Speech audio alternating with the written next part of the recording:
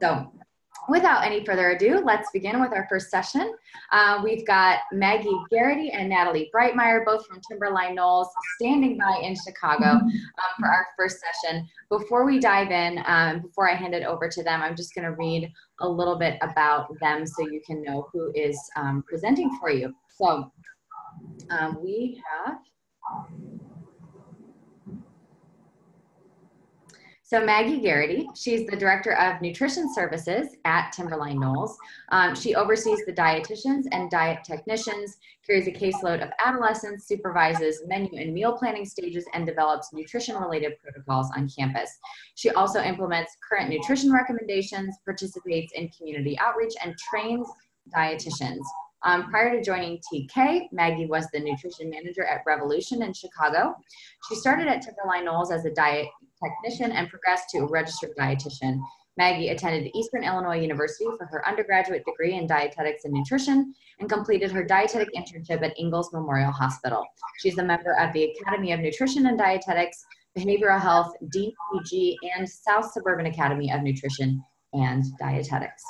Um, Natalie Breitmeyer is currently working as a licensed professional counselor and dance movement therapist and a yoga specialist at Timberline Knolls in Illinois. She received her MA in counseling and dance movement therapy from Columbia College Chicago and trained as a yoga teacher with Yoga View Chicago. Natalie is a faculty member at Hubbard Street Dance Chicago's Lou Conte Dance Studio, where she teaches yoga and modern dance. Natalie engages with clients from a humanistic, culturally, and trauma informed lens and incorporates somatic psychology, yoga philosophy, play therapy, and creative arts therapies into her clinical counseling work. She received her BFA in theater with an emphasis in playwriting and directing from Cornish College of the Arts in Seattle. So those are our two presenters for you, and I will graciously hand it over to you to begin our first session. Thank you so much. Yep. Hi, everybody. Hi, thank you for having us. We're really excited to be here. Um, we're going to be talking about uh, a project that Natalie and I worked on together, which is the reason that we're doing this uh, presentation together.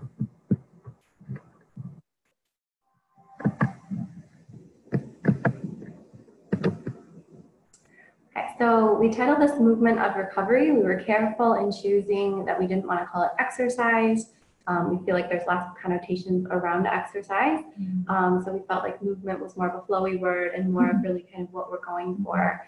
And that we really want uh, our residents to individualize what movement looks like for them and not have exercise dictated to them. Um, as Kristen said, I'm the Director of Nutrition Services and I oversee the dietitian team and I get to do really creative things like this, like working with mm-hmm. peers um, and coming up with um, what our residents need in the moment. Mm-hmm. And I'm Natalie, um, and part of the reason for the movement word rather than the exercise word is also because movement is a natural state for human beings. It's something that we do just in simply breathing every day. So it's already a part of what we do naturally. So we just want to encourage that natural engagement rather than that forcing um, to fit something, like Maggie was saying. Um, I'm a dance movement therapist. Uh, I'm a yoga specialist here at Timberline Knolls, and then I'm also a trauma specialist here uh, I lead both dance movement therapy and yoga groups, as well as regular verbal counseling groups and process groups with psychoeducation, especially with trauma. Um, we see a big overlap between trauma and eating disorders here. There is uh, often um, an eating disorder behavior that comes in as a result of trauma. There may be eating disorders that are in an effort that are developed in an effort to control some part of that control that was taken away. So uh, that is sort of what we're working with here. We've got our dietary team, we've got our therapy team, and then of course we have our physicians and we've got our uh, regular admissions and discharge team as well to help with everybody here. So for the presentation today, we're going to go over um, some practical ways to incorporate movement um, and how to really understand the collaboration between the dietitian and the therapist. Um, but we'll also talk to the larger group as well and the collaboration of the entire team. Um, we'll briefly go over just some of the impacts um, and improvements of movement on mental health. And we're talking of uh, minimal movement as well, not mm-hmm. excessive exercise. Um, and we'll really walk you through a four week curriculum. So hopefully things that you can either implement in practices or um, if you're uh, a loved one or someone struggling with an eating disorder, you can take on some of these with um, the care of a therapist and or a dietitian as well. And so we're going to start just by talking a little bit about the function of eating disorder behaviors, which is probably familiar material to all of you guys listening. Um, it's important for us at Timberline Knolls to think about functions of behaviors so that we're not serving to further pathologize and rather we're trying to invite a strengths-based approach to the way that we're working with clients, looking at how these things formed and where they come from. Um, we see a lot of experiential avoidance, as it says on the slide there, with eating disorders there is uh, an intention of problem solving that tends to go inward rather than external. So maybe there's an external issue that we're working with, but that turns internal because that's a safer place to put it. It can also make it a struggle to work with because a lot of it happens internal and we don't always see it. And so it takes a lot of careful observation time and then multiple perspectives. Um, a lot of the identified behaviors that you can see on this slide too, such as restricting, binging, overeating, rigid food choices, purging, calorie counting, overexercising, body checking, and obsessive thinking are often compensatory in nature. They often become compulsive in nature. And so we're looking at these maybe as serving a particular function. So we have a little bit more flexibility around what we can do to help them address that need. So they have a little bit more range and choice. Um, we are also trying to support uh, residents to build more self-awareness. So if they can start to understand the function, they've got a little more power in their choice of what they do as well.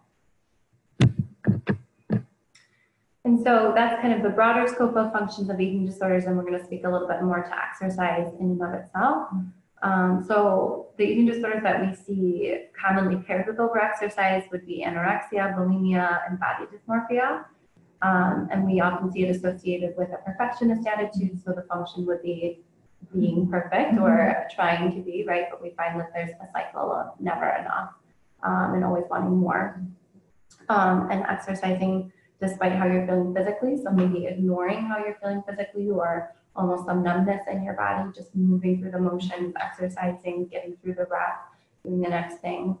Um, and really setting or trying to attain goals. So always reaching for something um, so kind of feeling that need of like unfulfillment mm-hmm. or searching for the next best thing.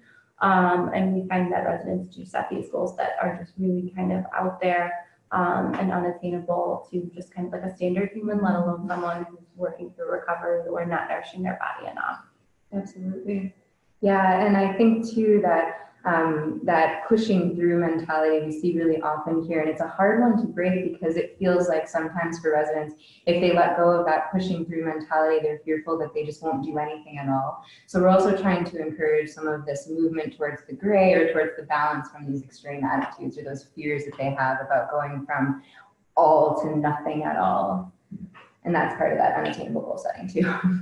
yeah.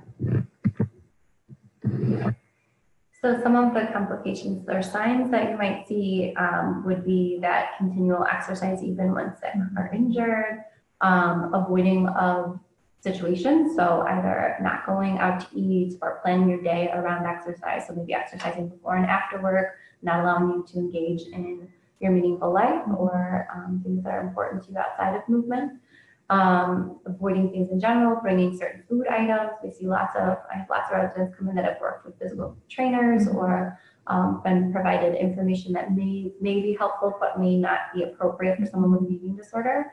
Um, but feeling very rigid about the food items you have to eat, the time frame of movement, um, and really not allowing you to again engage in your life. Mm-hmm. Um, we also see, yeah, those time frames are so crucial and kind of like documenting uh, how much movement, how much intake, um, being very rigid around that.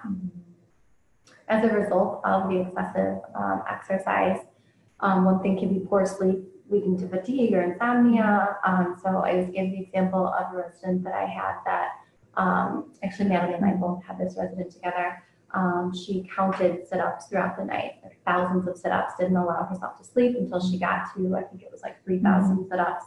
Um, and so you can imagine how that impacted her night and the following day.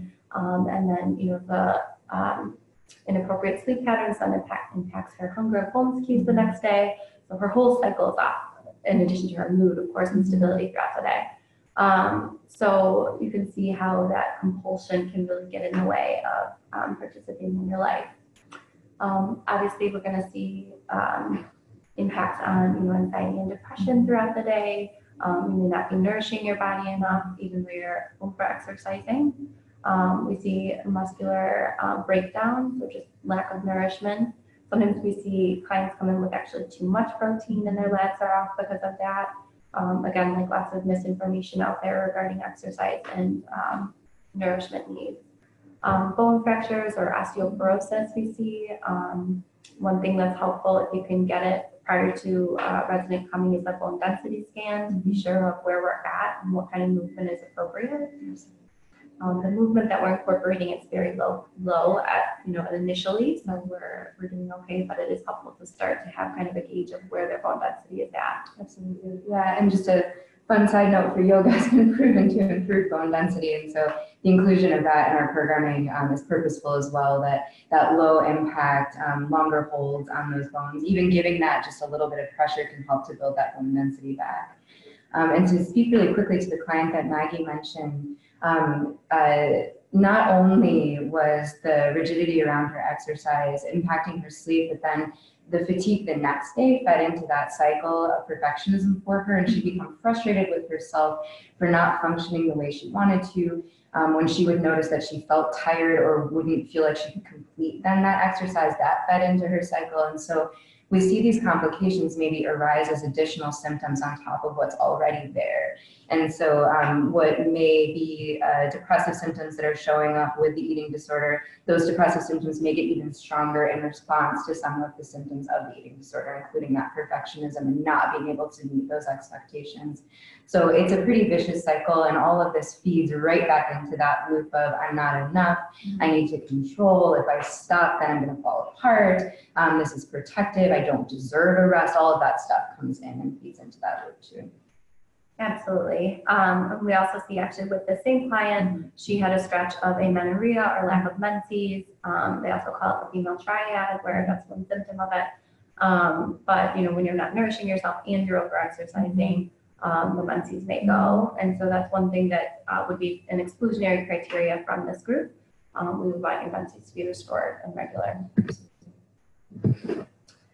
Um, so what is excessive exercise? Where do we draw the line? There's so much information out there on movement and exercise, right? Misinformation, should I say? Um, but it's difficult sometimes to draw the line because it's looked at as such a healthy habit. Um, so according to the DSM-5, um, information on over exercise looks like um, behaviors occurring on average at least once a week for three months, which is not very much for exercise. Um, and so that would be as a direct result of a binge in this case. Um, so when you look at it that way, once a month, a week, once a week for three months, um, I think a lot of our residents could be characterized as that. Um, and so it's just kind of a, uh, it's up to us to weed out like, who's appropriate for this group, and most people really are. Um, I also described over exercise um, from another client, uh, mutual client of ours that um, was in high school and um, carried around like 10 to 12 books during the school days, um, refused to go to classes, but would just pace up and down the hallway. And she would tell me, you know, Maggie wanted to go to school. She's also a perfectionist. So she wanted to go to school and class, but she felt this compulsion. She truly couldn't stop moving. Um, and so, you know, even in the milieu space, she was always doing the splits or trying to move in some way. Um, even just to like pulse her muscles, there's always something. So that true compulsion or inability to stop um, there's also some examples listed, um, including like not having breaks. So we always recommend it at a minimum two rest days. Um, so if you notice that, or kind of at inappropriate times, I've had residents exercise in the middle of the night, or tell mom that they're doing something different when they're actually going for a run, um, or you know a, a walk throughout the entire day. I've had clients that don't have jobs that walk for 10, 12 hours a day.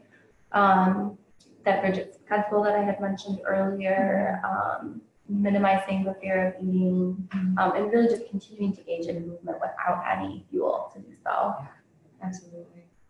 Yeah, and then that belief that this is sustainable kind of comes in there too, that this is something I should be able to keep up. This is something that I can even keep up. This is something that if I don't, it says something about me if I don't. And so there's also this attitude of this even being possible, that high expectation again that can remains unmet because like Maggie said, this is unsustainable for a, regular human being and especially unsustainable if that human being isn't being nourished at all. Yeah, absolutely. And all that leads to that guilt, um, Mhm. anxiety, depression, Yeah. I can't fulfill those needs. Right, Um, or right. when the movement just feels like it's not enough. Yeah. And so, um, as we've mentioned, we're noticing clients around campus uh, who may meet the criteria for overexercising, who definitely have uh, a connection between eating disorder behaviors and some pathology or pathologized attitudes around physical activity. Um, it's also just been shown that there are 50 to 80 percent of eating disorder clients that also have a skewed attitude towards physical activity. So to go unaddressed just doesn't make sense. Um, there's also been research showing that it's a big risk for relapse to not address that physical activity component. Um, once clients discharge from a facility like ours, they are moving from our boundaries and our safety constraints out into probably their life before here. And so they have access once again to all of their compensatory and compulsive behaviors that we were helping to um, keep them from engaging in while they're here they can go right back to that if they want to. And if we don't create a way to address that while they're here, then they don't have safety planning around relapse prevention outside of here and after discharge. Um, there's also a need to break up that rigidity while they're here about how they think about physical activity so that it doesn't feel like there's no options once they leave, that they either go back to the routine that they had or nothing at all because the routine they had wasn't healthy. So we want to be able to give them options so that it doesn't feel like it's off limits. Um, it's similar, I think, to the idea that um, in uh, sort of different from substance abuse treatment, where we're looking at abstinence, we have to eat. We also have to move as human beings. And so we need to find a way to be able to helpfully incorporate both of those back into life. And, um, and it just makes sense to address that as a part of our treatment here, too. Um, we also noticed that um, there were many clients who uh, Maggie and I wanted to collaborate on uh, to figure out a movement plan in addition to uh, nutritional needs to meet that movement plan or a way to, um, to help them see those two as integrated things. Uh, and because there was such a high need for that collaboration, we figured why not create a group where we can address those two things at the same time together um, and almost uh, not have to give the clients either uh, conflicting information or information at two different times in two different weeks when maybe they forgot what came before. So we have the chance to do it uh, in the same room together. Yeah, and I like to say that this group really developed pretty organically. It was, you know, Natalie, I have this client. I'm not sure how to address the movement piece, but I've got the meal piece down. Can you do that? Yeah. And then, you know, it's now just become an immersion of the two, which is so helpful um, to decrease like any staff splitting and also kind of show, you know, our collaboration and Right. cohesion. Right. Um, and so it's been a really interesting process. And I think some of the older studies regarding um, movement and eating disorders indicate to drop it, to, to not do it at all in residential or inpatient. And, you know, as we started developing this group, we saw more and more recent studies that um, not only um, encourage it, but condone it and have lots of information to back the benefits of it. Yeah, yeah, for sure. And so, um, just speaking a little bit more to the benefits of addressing physical activity at all, we've talked about some of these. Um, the same client that we were talking about, the adolescent who uh, had this compulsive need to do close to 3,000 crunches every night um, before she could allow herself to sleep or before she could allow herself to even end her day. Um, one thing that we worked with with her was talking about what is it that this physical activity of crunches does for you. And we talked about um, how it made her feel and that it offered her some control. It made her feel strong. She kind of liked this sagittal forward and back movement. It almost feels like rocking, which is a self-soothing movement as well. Um, she was also not necessarily doing this in secret because she did speak it out to us, but previously this had been done um, not around people. It's not something that she does in front of people. It's not something that um, she would necessarily uh, bring right out into the light. And so there was a little bit of a secrecy component here. And so by looking at this during a dance movement therapy group one day, um, we were able to start to bring a little flexibility into what movement might look like. And so um, I taught her yoga sequence, and then Maggie was working with her about um, the not needing this compensatory movement in order to um, meet the needs that she felt like she needed to meet in terms of weight loss and strength building. Um, and by the end of her stay here, she had brought down the number of crunches she was doing from 3,000 to in the low hundreds which was a really big deal. And she started incorporating yoga movement into her daily routine as well. So not only were we decreasing the amount of reps that she felt she needed to do, but we were building in that flexibility of what movement might even look like. And she started to find some joy mm-hmm. in the yoga movement in particular. She said that it felt good. She said that it felt like she was expressing herself. She said she felt like it reduced anxiety. She was able to limit some of the tremoring that was happening in her mm-hmm. body from anxiety as well. So it really was a way for us to get at what had been a super rigid um, behavior of hers that was really tied to self-worth. Um, in addition to that uh, addressing that piece that gets really tied into self-worth, we're also looking at how to uncouple um, the the perfectionism that gets tied into the exercise, and to the physical activity, um, and also decreasing the need for that external validation that this is enough. And so um, through movement and through increasing an attention to that internal awareness, we can also increase the client's ability to self-validate, to feel as though they are doing enough, to know what enough might mean to them, to know what over and under means. Um, so we can then reduce some of that drive for thinness or um, for a particular physique as the determinant of whether something is enough. Um, we're also looking at uh, reducing shame and guilt around exercise behaviors. And so the more we can increase the flexibility around what physical activity looks like, the more maybe we can break up those shame patterns around if I don't engage in this particular kind of exercise, then I'm not good. Or if I don't engage in that particular kind of exercise, then I have something to feel guilty about. That's a part of this too. In addition, there is the benefit of exercise allowing for a client to um, restore weight. Again, that bone density um, can be increased through the practice of physical activity. Um, it can uh, promote uh, building of muscles, which can then also help a client to feel physically strong and then potentially mentally strong as well. So even the protective um, function of eating disorder behavior can be addressed through building strength and increasing that sense of empowerment. Uh, and I'll just keep talking here so I can take my voice. Um, also to be considered in this, of course, though, um, is that we may be moving in ways uh, that could be triggering or activating to clients. Um, there is a, a, client that Maggie and I also worked with um, who had a, a, real rigid set of exercises that she did. This was an adult client um, who was, uh, it was a lot about, um, you know, 50 or 60 lunges is what is best, or I need to do 50 or 60 push-ups. That's what has to be done. That's the only way I'm going to stay strong. She had a trauma history and it made sense. She was trying to build up strength in order to feel protected and in order to feel like she could then be protector for her family. So it made sense, absolutely. We talked about other ways maybe to build in that strength, but knowing that perhaps with her, we wouldn't start with lunges or push-ups because that is her exercise of choice that then triggers right away that sense of need to complete, that sense of need to get through this or it's not enough. Um, we also uh, want to talk about what exercise looks like post-discharge. We want to address um, some of the risk factors that come in right away, some of those external triggers that might be there in social media um, or in popular culture or even family culture around exercise. Um, we want to encourage language that's not rigid around physical activity um, so that clients have that while they're, when they're leaving, some more flexibility around what physical activity looks like. Um, and then we also just want to look at um, what is coming up for clients as they're re-engaging in movement and talk about that as we go too.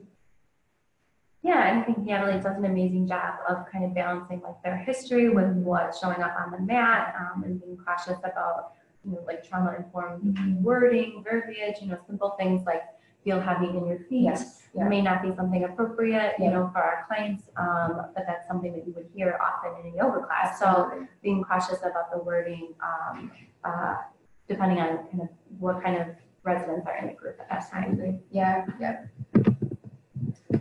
Um, so I just want to point out some, we're speaking a lot to anorexia, so I want to point out um, some on the a different end of the spectrum of binge eating um, or and or bulimia.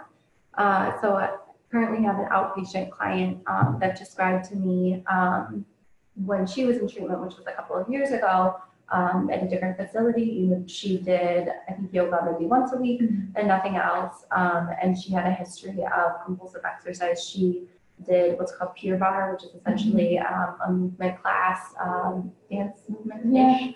Um, and um, it was, the goal was to do 100 classes in 100 days, um, which is a class every day. So, um, you know, we taught a lot through that, but so after that experience, she went to treatment, did yoga once a week, and since then has not moved. Um, and she's described to me some fear of movement. You know, how do I move appropriately? Will I go back to that? The only thing I know is that to do this class 100 times in 100 days. Where's the balance? Um, so, in implementing this group, we're hoping to bridge that gap a little bit more and um, you know decrease that that scary transition for our residents when Yeah. they move home. Um, and so you know thinking also of people in larger bodies, there's some misconceptions um, that they may have. I've seen this um, sometimes here. Sometimes they're really comfortable moving, sometimes they're not. Sometimes there's that shame around their body image or weight or you know being in a group moving with people. Right. Um, they may also have the misconception that you know exercise has to be really high intensity, really frequent. You have to see results right away. Um, so you know we're trying to make all bodies feel really comfortable in these groups and dispel any of those myths. And we do that with the education portion in the beginning of the group, which we'll speak to. Um, I also want to speak to a resident that we both had as well, um, who uh, had a really interesting history, trauma history, where um, mom was abusive, um, physically, verbally. Then grandma would come kind of swoop up the resident, uh, saving the resident from that abuse, and would always go out to eat. And that was their that was the way that this resident self-soothed forever. Um, and as a result, developed binge eating um, and was in a larger body and was really uncomfortable in her body. And, um, you know, we worked on a movement plan of just the first uh, week, we didn't really move outside of just regular obligations. The second week, we went for a walk once for 10 minutes.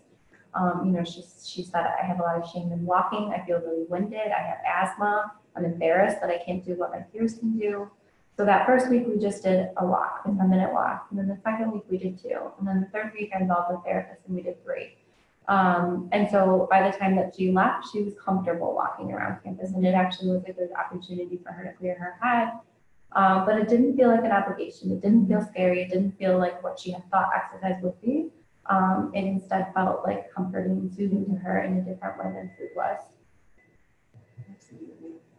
And so that's what we mean by really incorporating movement in a slow and appropriate way, um, and you know, backing off when we have to. And you know, it's all right for residents to come to the group and lay on the mat the entire time.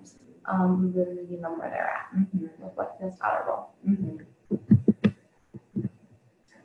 Um, so this is an amazing study that we found. Uh, after a little bit of uh, starting to create the group, we found this great research that really aligned with exactly what we were um, developing. And so it's a systematic review by um, Brian Cook et al. And it goes over about 150 studies. Some studies are specific to anorexia, some binge eating, some just a review of overexercise itself, um, and some on impl- implementation of exercise. Um, so it's uh, a really good resource if you're looking to implement some at whatever facility or outpatient practice you're at. So first and foremost, it talks about um, having, you know, the importance of a multidisciplinary team, which we've spoken to, um, which would also include uh, some of the studies that we found indicated um, having a physical therapist is incredibly helpful. Um, physicians, local team therapists, dietitian, of course. Um, and that really allows for the program to be really catered to their exercise needs um, by having that collaboration.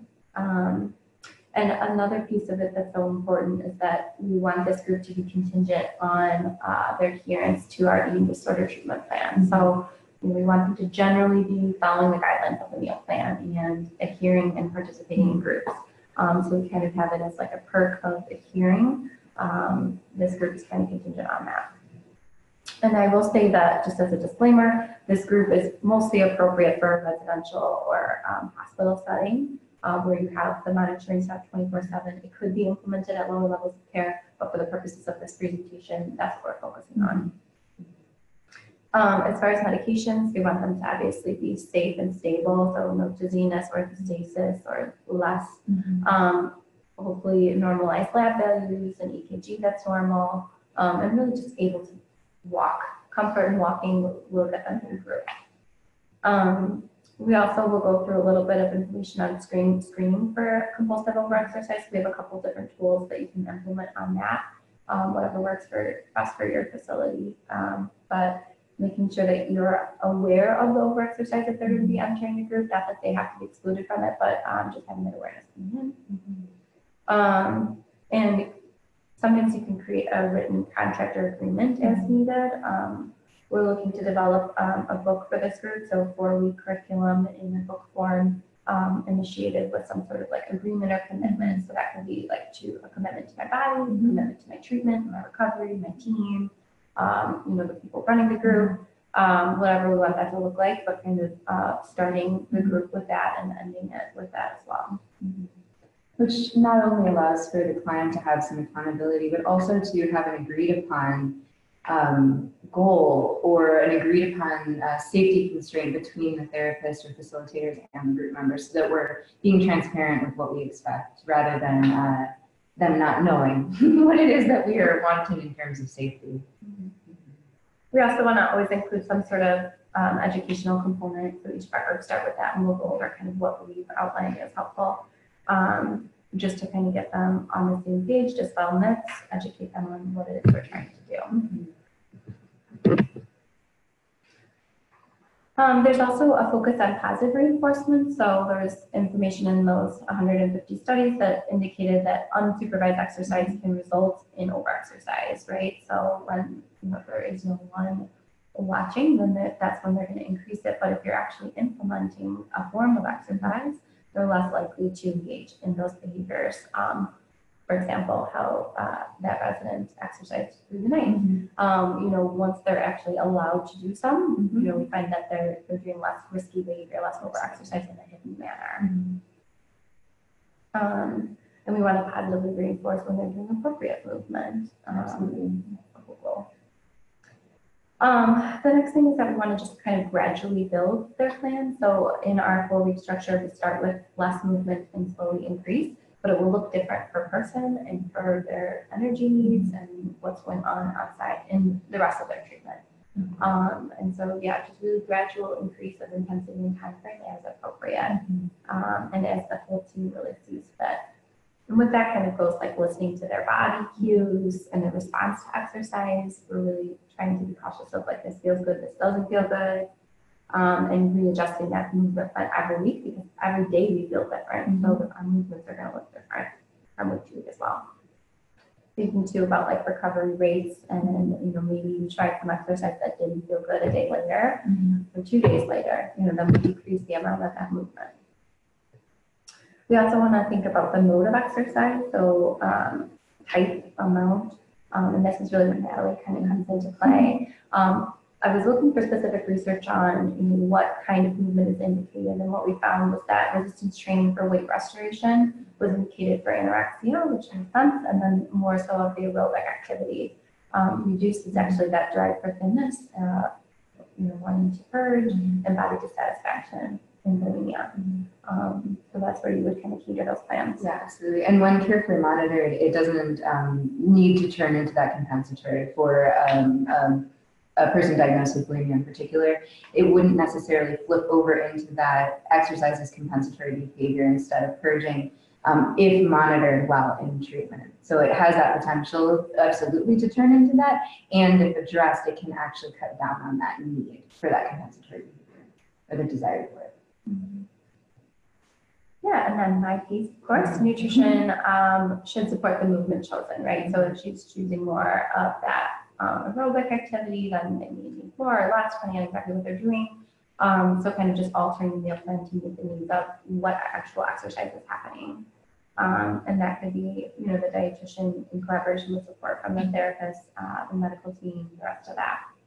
Um, and then um, what we found interesting was that something we're already doing in groups, but a debrief, debriefing or a checkout at the end, which looks like, you know, kind of processing what uh, what happened in the group, how it felt afterward, um, how to move forward with this plan, does it feel comfortable, um, any sensations that showed up, emotions, um, really kind of anything that went on throughout the group. They may not be used to moving in that way.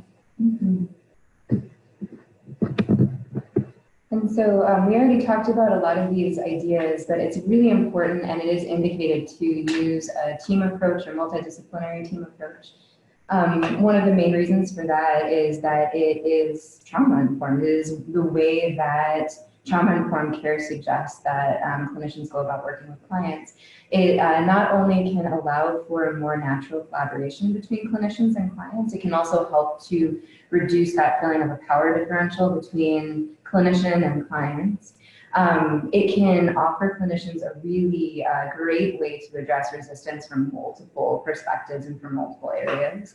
Um, it can be a way to educate clients about resources that are available to them so that maybe it's not so scary for them to seek out the help of a nutritionist outside of treatment, or maybe they know that they have an opportunity to seek out a um, physical therapist and that that person might be able to help them.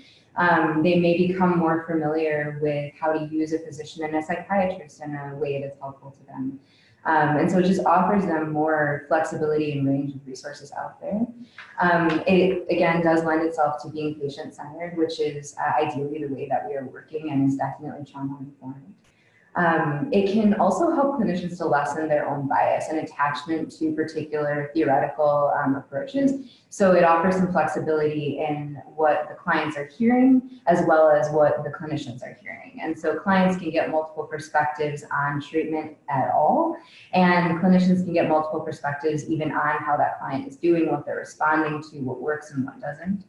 Um, it is holistic in nature, which again, uh, we are a facility that looks at the whole client. We're looking at their biopsychosocial spiritual health and rather than just looking at the mental or just looking at the physical or just looking at the spiritual, we're trying to see the person as a whole, whole person.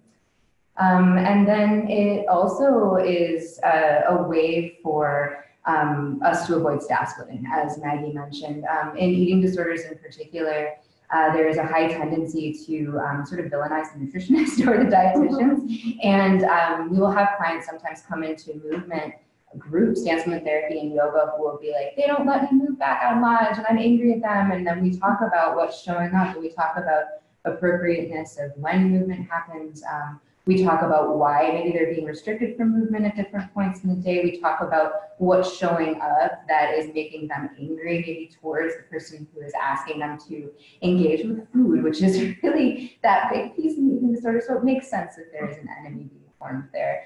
Um, and this having a group together allows for the client to see that we work together and that this isn't about um, me having a group where they feel like they're comfortable and being with Maggie and feeling like this is the hard stuff. It's we're looking at the whole person, and it's important to address both those pieces and not separate from uh, each other as if we're not part of the same treatment team. Mhm.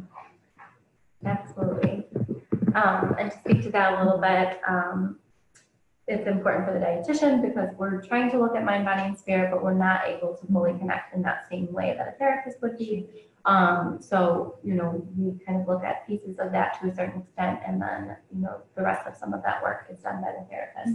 So that collaboration again is super helpful. Um, we also, of course, want them to be safe first and foremost, as I mentioned, being orthostatic, low bone density, so uneasy score less than one. Anything like whether EKG is off or compromised cardiac status, um, or that lack of menses. So all those things are gonna be, play a role in the safety of the residents, and that's what oftentimes the dietitian or the medical team would find that a therapist may not be as, um, aware about. Um, so some of the impacts of movement on overall mental health. So this is one of the group topics that we go over, but I just wanted to lay it out um, for uh, educational purposes as well. Um, and so of decreases that fight or flight hormone, so helps to calm them in the moment. Um, increases uh, the serotonin, so that positivity, which helps, of course, regulate their mood. Um, we notice that after people feel better, um, and the endorphins as well. We know this um, increasing that tolerance for a rapid heart rate. So again, like my resident who had the asthma, and felt uncomfortable walking, you know, slowly increased tolerance and felt um, more more able by the time that she left here. Um, we found studies that indicated that the synchronizing of movement, so moving with others in the group form, can really impact their self-esteem and allow them to feel more comfortable doing that moving forward. Mhm. Um, and the, of course, the meditative movements, so the yoga and Tai Chi can help, you know, mindfulness is so much of the work that we do here. Yeah, slowing down. Um, and just to connect that idea of the slower mindful movement back to the decreasing of the reactivity of fight or flight. We had a particular client with a trauma history. Um, she's actually a veteran and uh, had a history of flashbacks and a history of um, really, really low self worth and attaching self worth to how many reps of physical activity she could do. She was a mixed martial arts fighter um, and she used to box and then sustained an injury um, and ended up um, feeling really uncomfortable in her body without having that outlet. And so we found that by um, slowing down a little bit and finding a way in through Tai Chi, which feels a little bit close to the martial arts that she was familiar with, we were able to get her back into the present moment when she was feeling like jumping out into dissociation or into her flashbacks, because movement happens in the present moment. And Tai Chi in particular takes a really intentional focus and breath work. And so we're we're moving in the present moment, which helps a person who likes to dissociate or likes to kind of step out of that present moment to come back and stay here. And then we're meeting that um, uh, that intolerable internal feeling with some kind of tolerable movement that connects to something familiar. So for her, it was something akin to martial arts. Absolutely. Um, and in addition to that, we found that the um, brain derived neurotrophic factor, which increases the um, nerve fibers and also long-term memory, is naturally increased with movement. Um, so something more of a long-term result, but really helpful nonetheless. And then there were also some studies, again, as I've mentioned, were on a campus um, that has a lot of space outdoors. So a simple walk, Mhm. um, as we know, increases vitamin D, which helps fight disease and osteoporosis. Again, we have the bone density issue with a lot of our anorexia or malnourished residents. Um, and we've also implemented a garden at Timberline Knolls, um, and that's been a really cool part of nutrition groups, um, and just expressing movement in a different way. Um, and not the typical exercise that you would think of, but you know, just going for a walk or gardening, um, can certainly be considered a movement. And so um, it is really important for us to think about appropriate movement. We talked a little bit to this already.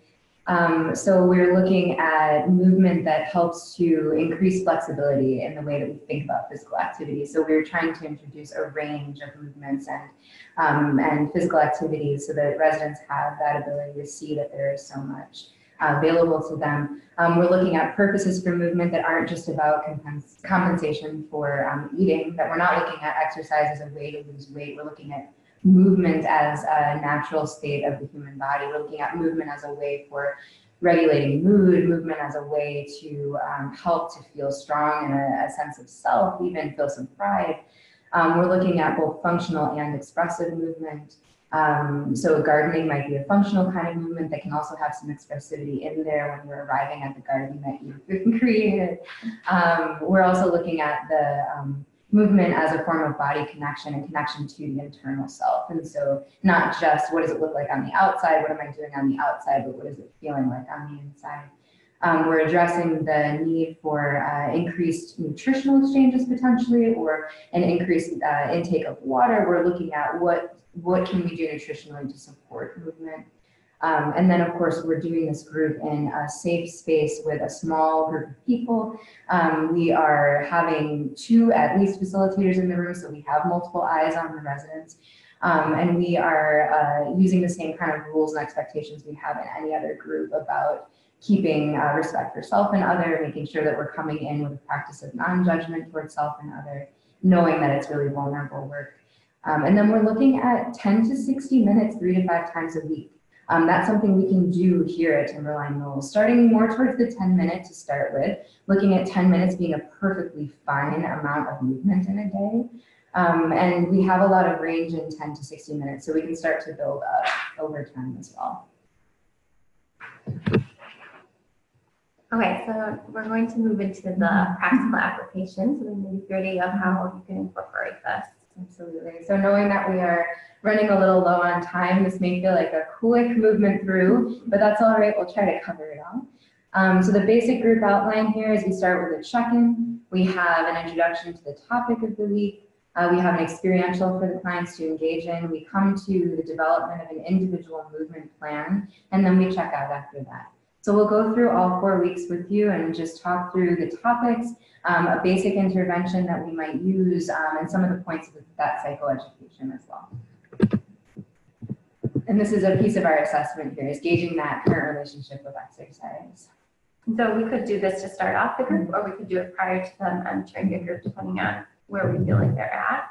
And so we'll just walk you through a couple of different tools that you can use. Um, so this is one that I've used in sessions before.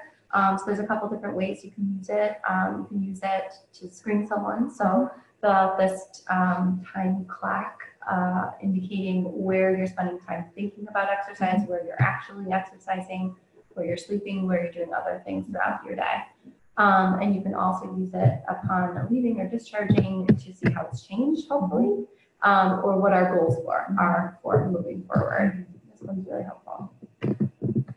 Um, this is one question questionnaire developed by TK, just about intention of movement, um, what's going on for you before or during and after, um, negative thoughts during the workout, and um, what coping skills can you utilize. And this could be elaborated on in the course. Yeah, and these show up on our individual movement plan as well, which I'll describe to you in a moment. So here's just a portion of the obligatory exercise questionnaire. There's a couple of different ones. This is the one that we used. Um, just looks at kind of rating your uh, thoughts on applications towards movement, what kind of movement. Um, again, this is just a short portion of it. Um, below. And so these are just speaking to the goals, the general goals that we have for this group. Um, so we're practice, we're involving practice. That's a big part of this, experiential practice and processing our physical activity um, with supervision from our clinicians. We're trying to increase that flexibility, break down some of that rigidity around what physical activity means and looks like, um, introducing nutritional requirements and flexibility around those with physical activity.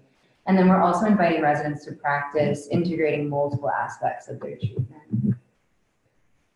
Yeah, so again, we're gonna go week by week. I wanna give a shout out to Allison DiNacenzo, the dietitian that worked on week one and two, and I focused my efforts on weeks two, uh, three and four. However, the first week is uh, about balance. So for the dietitian, that means about exchanges and fluids. So we're gonna do our psychoeducation on what that looks like on a normal day, what that looks like when you increase exercise, um, and what that looks like when there's too much exercise and that, you know, we can't keep up with the nutrition piece. And so our general rule of thumb recommendation is that any, uh, for a half hour to an hour of exercise, you want to do at least a cup of water. Um, and any excessive exercise, so uh, rapid heart rate, sweating, uh, or any sort of out of breath, you want to add um, typically two exchanges uh, for an hour. And that may look like a carbon and protein. Um, we've discussed individual basis what that could be, but typically two exchanges for an hour. And so from a movement perspective, that's looking like trying to balance between exertion and recuperation. So we'll introduce the idea of exertion recuperation cycles to the clients. Um, looking at what are we uh, doing in terms of activity and how are we resting. We're looking at uh, balancing strengthening with stretching. We're looking at balancing our upper and lower body. So we're not just working out one part. Um, we're looking at using breath support and truly balancing that out as well. Um, and we are also looking at balancing our right and left side so that we're not just focusing on single part or single exercise. Um, and so this uh, in an intervention might look like a set of physical activities that may look like squats or may look like holding a plank or might look like some lunges followed by something that looks like stretching of those muscle groups or looking like we're taking time to rest in something like Shavasana, the final resting pose of yoga, where we are lying down and observing body signals. Um, it could also look like something where it's a high intensity movement for about five minutes, followed by a lower intensity. So that might even look like a fast paced walking, followed by a really mindful, slow walking. So we're looking at balancing between different kinds of physical activity in this first week. And so for the dietitian perspective on internal awareness, we're going to talk a lot about hunger and fullness cues. So before exercise, during exercise, after exercise, um, and looking at the rest and recuperation as well and how that feels in their body and recommending you know no less than two days of rest. Um, and also, you know, we'll look at how they feel when they eat an hour before movement. How do they feel when they eat 30 minutes before movement? How do they feel when they eat three hours before? And then kind of how their body responds to that. Yeah, absolutely. And from the movement perspective, here we're looking at um, learning to understand our body cues. Uh, knowing what it feels like when we're over or under exerting, um, maybe noticing what our heart rate and how to check it, what it feels like, how to check it, noticing what happens to our breath, how sustainable our breath is. Um, we don't use mirrors here at Timberline Knolls in any of our movement rooms, and so that is encouraging a focus on the internal self as well. Um, we are also looking at uh, checking back to see what felt good or not so good about the movement plan that was developed in the first week. So we're checking in with muscle soreness, maybe overuse or some fatigue in there, looking at maybe there wasn't enough time in a rest portion. So uh, yeah, we are starting to um, educate the clients on what those internal signals might look like and then asking them to identify their personal signals because of course they're different for every person. And for week three, we'd speak to the movement and mood. So a slide that I already went over, which outlines um, the benefits of movement um, and mood, but also kind of reflecting on how they feel about it and what um, messages they've been told about it in the past. Um, I also like to speak to like inadequate intake and mood. So how do you feel when you're not nourished enough and you exercise? Um, I talk a lot about like ketosis. That seems to be a hot topic, right? So like the breakdown of fat or of muscle instead of fat, and you know when we're not malnourished, it's actually hurting our bodies. Or when we are malnourished, we're hurting our bodies and not providing enough energy to get through the movement. And also talking about how well, you know, if we have athletes, how well do you perform when you're nourished versus when you're not. Right. Yeah, and then um, in movement, we're looking at uh, which kinds of emotions are a struggle to hold, which ones are a struggle to tolerate, and identifying where those live in the body. Um, looking at maybe ways that those feelings could be increased through movement or intensified through movement in ways that they can be shifted or decreased in intensity through movement. So that might look like um, for someone whose anxiety shows up as like shaking in tension, it might look at how do we know if we're increasing this tension? Maybe we shake a little bit more, maybe we get even more tense, or if we're looking at trying to decrease or shift the intensity, maybe we're noticing the first place that can relax a little bit, the next place that can maybe let go a little bit. But trying to invite them to really identify what impacts their mood through movement, what kind of movement has what kind of impact on their inner selves. I also included this picture um, of dog therapy, of pet therapy on here. Um, again, kind of a functional movement, petting a dog, though it can be expressive as well. It's a kind of movement that we don't always think about, but there is some research showing that petting a dog, engaging in movement of um, animal assisted therapy can boost mood. And so looking for ways to engage in movement that feel really good, that invite that boost of endorphins or dopamine, um, that make us feel like we want to engage in life. And so movement with dogs is one way to do that as well that we practice here at Timberline. Absolutely. And also equine therapy. Yes, yes, yes, for sure. Um, could be included in the category. Um, so the last one is movement values and beliefs. So this is where we do a lot of dispelling. Um, so we've had the idea of bringing in um, magazines with information on, you know, diets, um, exercise regimens, recommendations. I saw a magazine that I brought in that said um, in one week we lose 27 pounds, right? So like with in the absence of like cutting a limb off, I'm not sure how you would do that. So like talking through that. Um, and so really just lots of education and dispelling. Um, and asking the questions about where they're finding that information. So Yeah. who's stating the claim, you know, what benefit is it to who's stating the claim? Um, and why are they recommending that you do it and for how long? So really kind of uh, looking at that information with a crucial eye. Absolutely. And some of the movement myths that we're looking to dispel is the idea of no pain, no gain. And often that pain is a sign of uh, potential injury or overuse injury. Um, we're looking at the fact that if you don't use muscle, it's going to turn into fat. That's not true. They, they don't convert into each other. Um, we're looking at uh, more exercise is better, not necessarily. In fact, you may be more prone to injury the more exercise you engage in, um, especially without adequate support of nutrition in that. Um, we're also looking at um, that exercise might feel like it takes too much time and that 10 minutes is a very appropriate amount of exercise or physical activity in a day. Um, and then also we're going to take a look through movement and the experiential portion um, at some of those less uh, less well thought of as physical activity activities. So maybe we're doing mindful walking, or we are focusing on more of a restorative yoga practice that day. Maybe we're looking at functional movement in our lives and how we can incorporate more of that too, and how we feel about it as well. So this just goes over that we want to continually reassess is the movement plan appropriate? Do they need to no longer participate in the group related to non-compliance or weight loss? So we're just going to continually keep that going. Um, and really movement after um, residential level of care, we want to set up that movement plan for home um, and reach out to athletes, coaches, families, contact then for support and education as needed. Um, and really just set them up for success. Yes. This would be a sample of a movement plan that um, Natalie may go over with residents.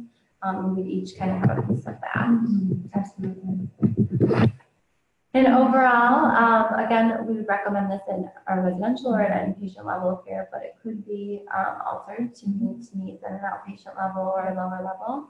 Um, and movement recommendations would be anywhere from 10 to 60 minutes, three to five times a week, which I do realize is a very big um, range. And we would uh, tailor that to the resident's needs depending on the treatment team. And psychoeducation in this spelling is going to be really crucial um, in the long-term care um, of these movement plans. Absolutely. Yeah, yeah. Um, and it just, we want to check back in with the resident uh, or any clients that we're doing these movement plans with to see how it's working for them and really trying to listen to their needs, their preferences, um, and where they're activating and triggering um, and relapse risks might actually look to. So thanks for listening. Yes, thank you so much for tuning in.